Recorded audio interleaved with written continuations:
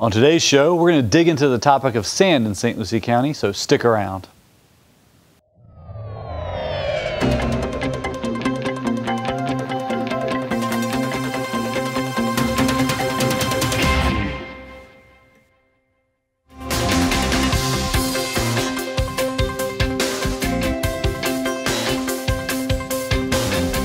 Welcome to this edition of Inside St. Lucie, SLC TV's monthly government affairs show. I'm your host, Erick Gill, Public Information Manager for St. Lucie County.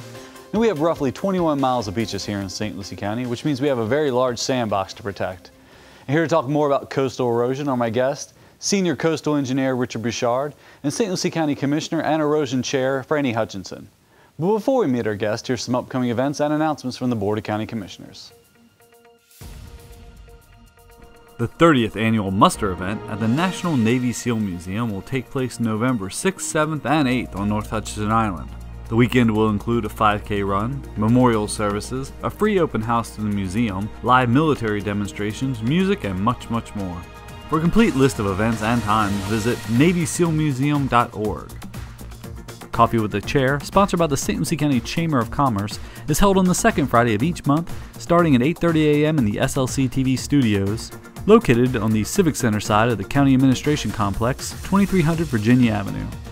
Be sure to stop in for a hot cup of coffee and to hear the latest news from the St. Lucie County Chamber and St. Lucie County. A reminder that the Board of County Commissioners monthly meetings are held at 6 p.m. on the first Tuesday and at 9 a.m. on the third Tuesday in the Commission chambers of the Roger Poitras Administration Annex, 2300 Virginia Avenue, Fort Pierce. The board typically holds an informal meeting on the second Tuesday at 9 a.m. in Conference Room 3.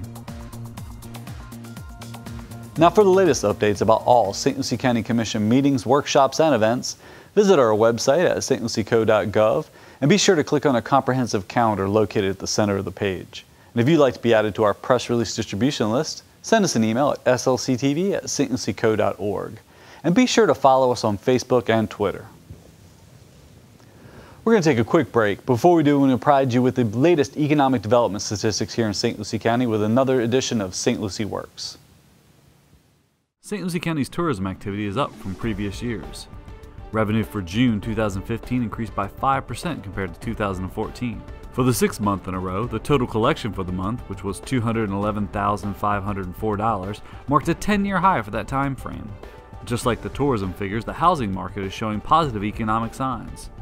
The St. Lucie County Realtors Association reports that the average median home sale price in the county was 160,000 in June, up from 135,000 or 18.6% from 2014, while the monthly supply fell from 4.4 months to 3.3. On a local level, the sale prices of single-family homes in the city of Port St. Lucie increased over the past year to 152,000 or 11.8%, while in Fort Pierce prices averaged out at 114,000 or a 33% increase. St. Lucie County's unemployment rate for July was 6.9%, slightly up over June, which was 6.6%, but down from 8.8% a year ago. Florida's unemployment rate was at 5.4% statewide.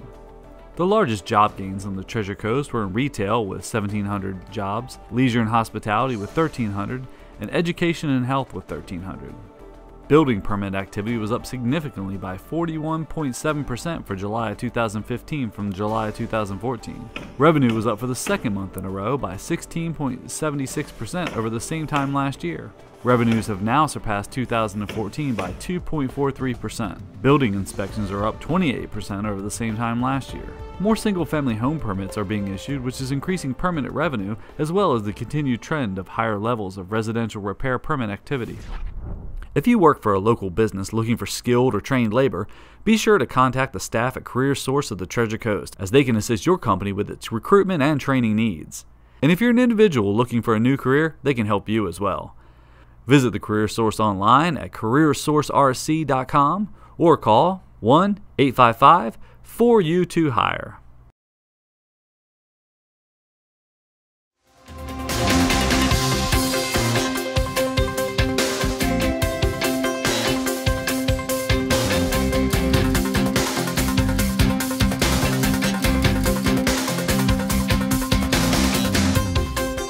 Welcome Welcome back to Inside St. Lucie. I'm your host, Erick Gill, and I'm joined by St. Lucie County Commissioner and Erosion Chair, Frannie Hutchinson. Thanks so nice much for coming back on, Commissioner. And Senior Coastal Engineer, Richard Bouchard. Thank you. Thank you both for coming on. Now, Richard, you know, we've got 21 miles of coastline here in St. Lucie County, and uh, but I thought we'd start with, you know a lot about the beach sands and where they come from, but I thought we'd start with Commissioner Hutchinson because you've been erosion chair now for multiple terms. Yes. I don't want to date. Off and on since 1998. now, why is that? Is you know, is it because the the island has your last I don't name? Know, is that no, why? I wish. In fact, I always tell my kids, go for it. Yeah. Claim it if you want to. Um, no relation. Just a great deal of interest Yeah. in the beach and making sure it stays there. Absolutely. Well, Richard, one of the things you hear a lot is people ask, you know, how often do we put sand down, or why do we put sand down? Um, but there's a lot of benefits. Not just it's not just for those living on the barrier island. No, um, our, our beaches provide us with many benefits, not just locally, but at the state level as well as nationally. Uh, one of the main benefits is, is uh, we get protection for our upland lands and the infrastructure uh, from the storm damages. We've experienced many hurricanes. If it wasn't for the nice, wide, healthy beaches in front of those storms to absorb them, you know, we would have had a lot more damages and stuff. Uh, another important benefit is the economics of our beaches. Uh, provide many tourism and recreational opportunities. We have a lot of people that like to go fishing, snorkeling, diving, swimming, surfing, like yourself, as I understand. Um, so they they come here and they visit and they, they spend money, and that, you know that helps helps our economy, and of course environmentally. Um, it, they provide a nesting habitat for sea turtles and, and shorebirds as well. So we get many, many benefits for, for our beaches here in St. Lucie County. Absolutely. Well, and our beaches have been getting a lot of news, especially in the media down in South Florida, because there's been a project out for what 10 years now, where uh, or a proposal 13. since 2013. I think it is. Uh, it hasn't been quite 10 years, but it seems like Yeah. 10 years. But It's actually in the works before that. before that, the that's probably why. time frame. But where Miami Dade was looking at, they're running out of sand to replenish their beaches, and they wanted to come and take it not necessarily off our beaches, because I think there were some people that were miscon, you know, or misread that. They're going to take no, they're going to pump it from a sand source offshore of St. Lucie and Martin counties. Right. And we've obviously been opposed to that over the More years. than once. Yes. and it hasn't changed. And the public comment period ends early October here, but there's still time. I mean, what, what is the county's kind of objective? And we, we're asking for basically a full environmental impact study. That's one of the things. Presently, they've done an EA, which is an environmental assessment, and one of the things we've required or asked for them to require Miami-Dade to do, dating way back, has been a full environmental study, which is much more detailed. Unfortunately, it costs more, and it does is long takes a much longer time. But the result of that ends up getting details into from the environmental, from the economics, from the wave actions, the historical things that come into play. That information is going to be very valuable because presently everyone's focused on the Miami Dade situation. But the study that you referenced earlier actually included both Bra- Miami Dade, Broward County, Palm Beach County, Martin, and St. Lucie. And come to find out, Miami Dade, Broward, and Palm Beach County are all right in the same boat with a little to none of their Sure. sands left. Sure. So it opens the door up. Sure, and I think there's a lot of concerns too. But even if they get the sand off there, what about our future needs? What kind of impacts it'll have, like you said, on the reefs and the fish habitats offshore? But even there were questions about how they would truck the sand down. Would it be dump trucks down A1A moving the stuff, or you know? And those are the questions that are still not answered and that we would have hoped that would have been included in their presentations. Sure. Um, they have other alternatives that they showed last week, which was the first time we've heard that. The prior dis- uh, time that Miami Dade tried to come, that that was those were alternate alternatives were not there. Correct. And um, just to expound a little bit on what Commissioner Hutchinson said about the environmental impact statement or the EIS that we wanted to be, the EA to be elevated, is we'd like it to be done regionally, not just focused on that one sand spot that they want to come and take the sand from. But, you know, regionally, if all of a sudden they come up multiple times and other communities like Broward County or whatever want to come up here, and you start taking sand deposits and, and taking them down to your beaches down there, what's that going to leave for us up here? What's the cumulative impacts of that? So, you know, we, we want it done regionally as, as well. Um, you know, just a, a couple things, like you said, too. What about our long-term needs? You know, that's very critical to us. You know, uh, we got beaches, we, we have major erosion, and I'll talk a little bit later maybe about the inlet and how that comes into play. Um, but we're putting a lot of sand on our, on our beaches because we have erosion problems, so we got to meet our, our long-term needs as well. And finally, from a regional beach management standpoint, and I'll talk a little bit about this, I'm jumping ahead a little, but um, sand typically moves uh, along the shoreline from the north to the south. And it makes sense, good sense to me that if we place the sand up on our beaches over time, it is going to make its way down to Miami-Dade. So why circumvent that process?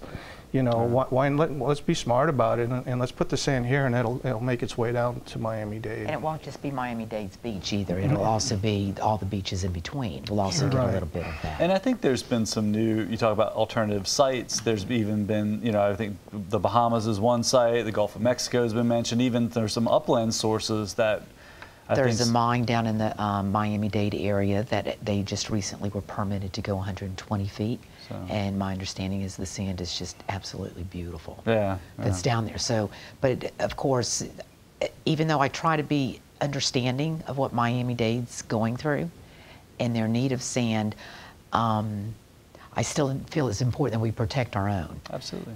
That being said, I understand, you know, they would have to truck that, and that's a lot of trucks on their roads. And Miami, of course, is much larger, but it's not an everyday occurrence that you're putting the sand out there.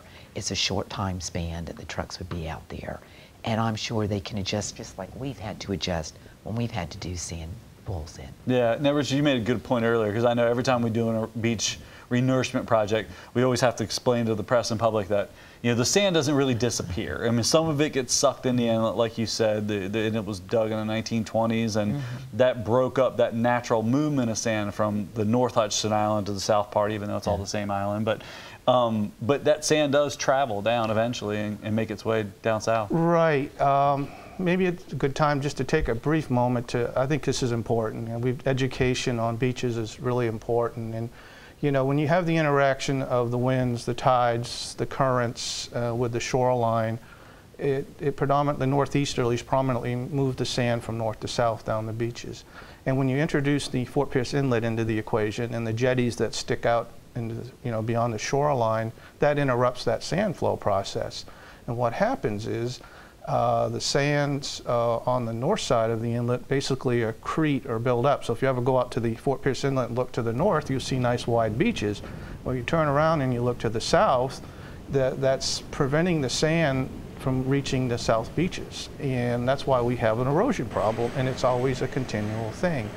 So uh, our lifeblood of our program is to place uh, beach nourishment sand at Fort Pierce Beach and allow that sand to uh, naturally be taking flow south by nature and basically it, it, feeds our beaches there. And a lot of people used to say oh the sand washed away it's all gone. Well it, it, it's still in the system. That's the important sure. thing. They thought it was washed out to the ocean and we wouldn't see it again. But, uh, you know, go down to John Brooks or Frederick Douglass Park and you'll see beautiful wide beaches down there. That's because all the sand that we've been placing at Fort Pierce Beach is migrating or flowing south. So that's kind of the lifeblood of our program. And uh, if we continue to do that, our beaches to the south should, should, should uh, start to get healthy again. Sure.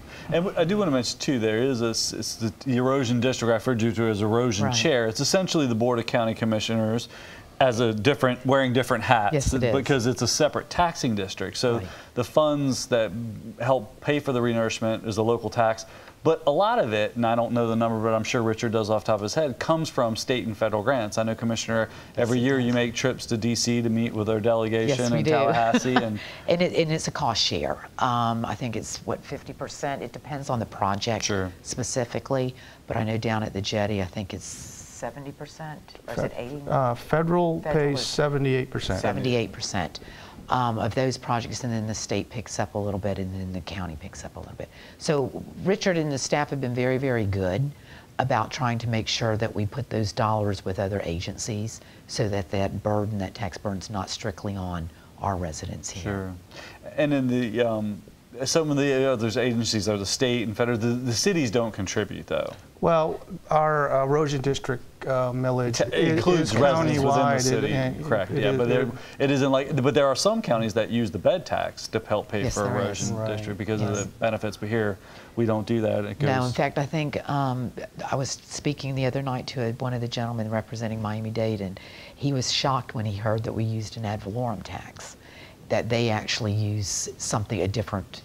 It's the bed tax, that they use down, but each city and the county pay into it, Okay. and it's county ran. Well, Let me also offer, um, I've unofficially tracked um, funding for beach-related projects since 1994. And we've done several nourishments at Fort Pierce Beach. And I've, I've estimated, and this is just my rough estimation, about $77 million worth Wow. of uh, funds uh, for our uh, state, federal, county. And our cost share of that portion has been about 25%. So we've done, like you said, we try to really do a good job of leveraging our funds at the erosion district and try to get the best bang for our buck. Yeah. Now, what, now, the one big question you always hear is, why can't we keep the sand on the beach or keep it from other? You know, what are some alternatives that we looked at? I know for a, while back, Richard, we talked about like a sand bypass trap inside the inlet to catch some of the sand that's uh, sort of sucked into the inlet. And I know there were some boulder uh, reefs or nearshore reefs put down this summer.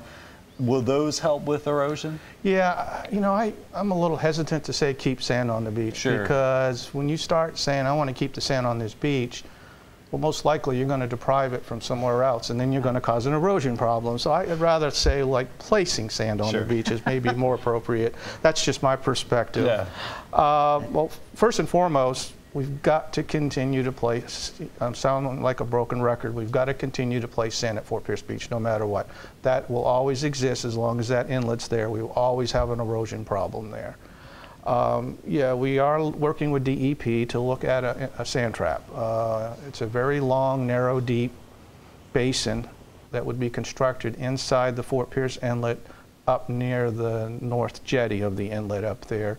And the concept would be any sand that's naturally moving through the, the jetty itself, because the rocks are very loosely stacked together, and or going around the jetty and coming into the inlet, uh, we could potentially trap that sand in this large basin. And then over time, say maybe two, three years, once it's full, it provides us an opportunity to take that sand and put it on our beaches to the south. And that's where it should be going And anyway. it'd probably be at a lesser cost than having to send the barges Yes. offshore to, you know, Right, and, it, and it's a good su- um, supplemental material to have right nearby in the case of an emergency. You know. get those weird you wouldn't winter need a storms. Huge, Sure. You wouldn't need these huge dredges to do it. You could use a smaller dredge, and it, it would, it would be less costly Sure. to do that. Um, also, another thing that we're looking at doing is the um, working with the Army Corps. Been working on this for quite some time.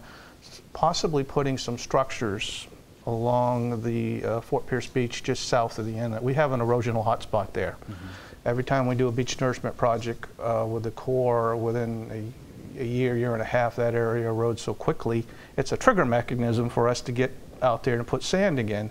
So if, if we can put some structures there to manage the, the erosional hotspot, not stop the sand from leaving, because again, we'll be just creating another problem, but slow it down enough that we can manage that erosion area, then rather than going out every two years uh, to put sand on a be- beach, maybe we can lengthen that out to three or four years, would save us some money. However, it would not negate the need for us to continue to place sand there. Uh, somebody had told me one time that structures uh, do not manufacture sand, they just rearrange sand. So by, we're helping our situation out, uh, but we're not totally, there's not a cure-all for Sure. Fort Pierce. People always come to me, it's like, oh, when a, a metal culvert fails in a, in a road, uh, uh, driveway or something, you go back and put a concrete culvert, you don't have to come back maybe 50 years. Here, Yeah. There's not really a solution other than to continue close to the place. inlet. yeah. But that's not, that's not not feasible. going to happen either. No. Sure. No, don't then- shoot. All the fishermen I was are gonna like say. loading their guns right And now. then- But and back to your uh, uh, Blind Creek uh, in, inshore reef areas there, they're not, they weren't really intended for sand, uh, protect the beaches from erosion or anything. They were really intended to try to mimic the, the other inshore natural reef areas there. Over time, these are limestone boulders. Marine uh, life attaches himself to them, and and larger marine life come and come. So we're trying to, to mimic the uh, the natural environment with these with these reefs. Is And- really what they're intended for. And as a diver and snorkel, I look forward to swimming out there. It's close enough to shore. I should be able to reach it. There you go. And, and one of the things that, you know, we've talked about the landward side of the erosion, but there's also the part out in the ocean itself. We've got some beautiful reefs out there, which are habitat for the fauna and the marine life and so forth, that we have a lot of our residents, such as yourself, and many others that go out there and take part of that benefit. Um, that then the reefs though then start breaking up some of that wave action as it comes through so it's mother nature at her finest but it's also one that we have to learn to work with and not against on it. So and you mentioned earlier i have to laugh about when you say the unnamed storms. Those seem to be historically the ones that do the most damage. Isn't that true? and it's usually ones that we have to fight the hardest to get replaced sand Sure. with. Or you have something like Sandy that really affected Northeast, but you know, but it just breezed by us, but still did oh, several Oh, yeah. million dollars worth of damage in the mosquito impoundments and the coastal erosion. So, you know, in those we don't get credit for or reimbursement don't. for. So No, we don't. Again, that's why you all were smart to have those uh, healthy reserves set aside to take care of those. Well, I think the good thing too, and, and this is, you know, when somebody says, well, our beaches aren't like Miami-Dade's beaches or Broward and so forth. Well, I'm kind of proud of the fact that they're not. Yeah. I like our beaches. You know, they're they're very um, beautiful. They are very well kept, taken care of. We've heard things about. Can you remove the seaweed off of there?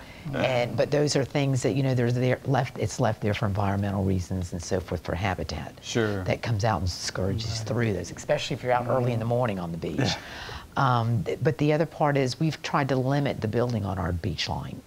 So again, this isn't to protect the buildings as much as it is the infrastructure. Sure, sure. Well, Commissioner, is there anything else we didn't get to mention about the, your district or what's going on? Uh, no, other than I would encourage anyone who's interested um, to please email to the Army Corps in regards to what their feelings are on this project, on proposed project, I should say.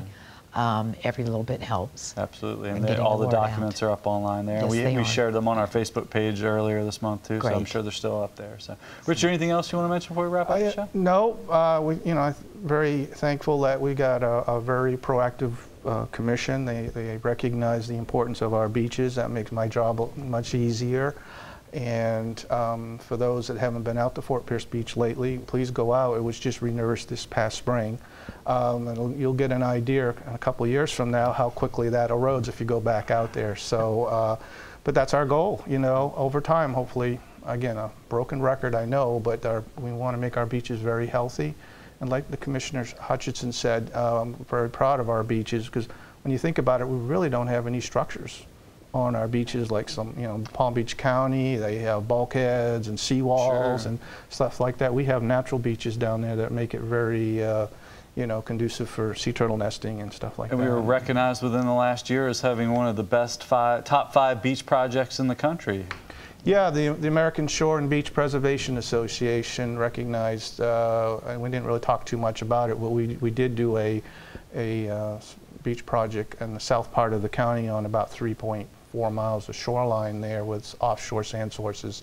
And it got recognized uh, for one of the top five beaches in the nation, uh, recognizing it for for a, a lot of things, you know, the fact that a lot of sea turtles nest there, so the environmental benefits that we, you know, all the benefits that I previously Sure. mentioned. You know, the hurricanes down there did a lot of uh, damages to some of the buildings and stuff. You know, now they have a nice wide beach, and nice healthy dune to protect them. So, very, very proud of that that recognition from uh, the American Shore and Beach Preservation Association. And that was also just to keep going along that line, if you just if you don't mind, that was also a project that the residents themselves agreed to tax themselves for. Yeah. So it was a combination of both county, state, and residents. Absolutely, funds and they were one. very beneficial uh, partners in that, and was coming helping. I remember Pat was sending me photos all the time just to let me know, you know, this is where they're at today. So, thank you all for uh, working with the county on that. But anything else you want to mention before we wrap up? No, I'm all right, well, fine. thank, Thank you both you. for coming you on the for show. having Richard. us. Pleasure. Thanks so Thank much. you.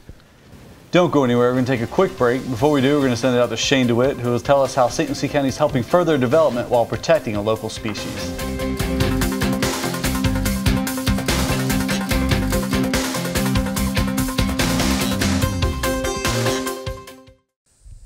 I'm here at Bluefield Ranch Preserve in western St. Lucie County, where the Environmental Resources staff have taken steps to make part of this preserve as a gopher tortoise mitigation bank.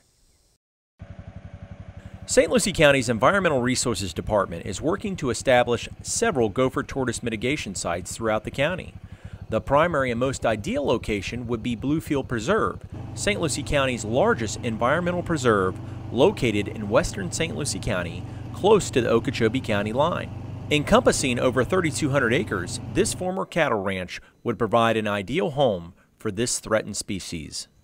Throughout Florida, there are already existing privately run mitigation banks that play an important role in tortoise conservation, providing an outlet for developers to safely relocate tortoises out of harm's way. The Bluefield Mitigation Bank would provide an in-house solution for county projects. A recent public works project cost St. Lucie County roughly 800 to $1,000 per tortoise, plus consultant fees, labor and permits, to transport gopher tortoises to a site in Pasco County.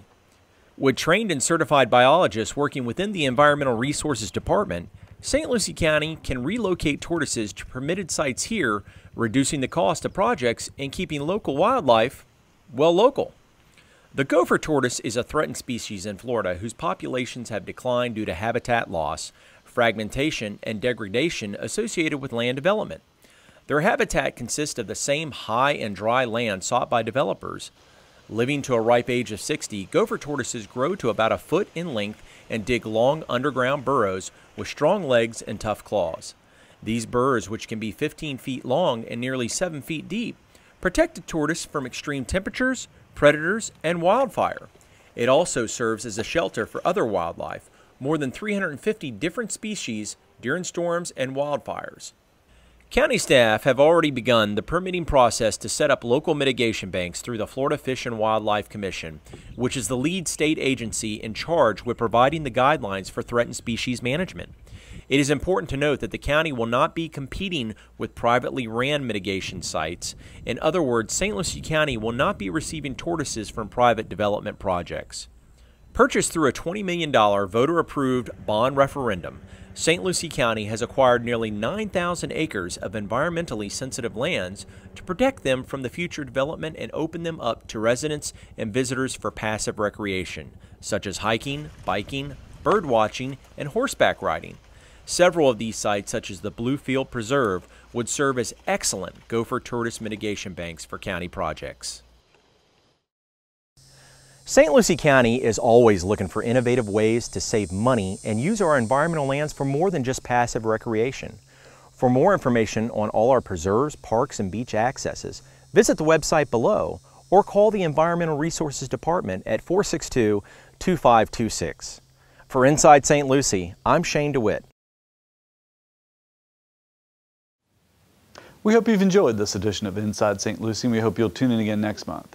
If you have topics or subjects you'd like to see covered here on the program relating to St. Lucie County government, give us a call at 772-462-6421 or send us an email at slctv at stlucieco.org. If you'd like to see previously aired episodes of this or other SLCTV programs, check out our YouTube page at youtube slash stluciegov and be sure to like us on Facebook and Twitter. I'm your host Erick Gill. From myself and the staff here, thanks for watching.